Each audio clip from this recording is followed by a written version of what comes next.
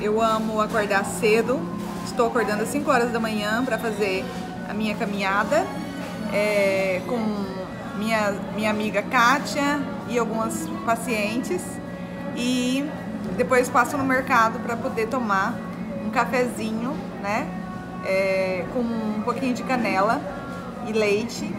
E quero falar aqui que daqui a pouco eu vou estar colocando no grupo o, o módulo dos mais importantes da, do curso de fitoterapia avançada, que é os metabólitos primários e secundários das plantas medicinais.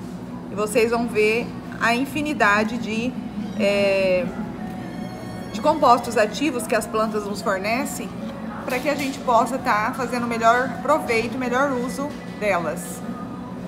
Aguarde!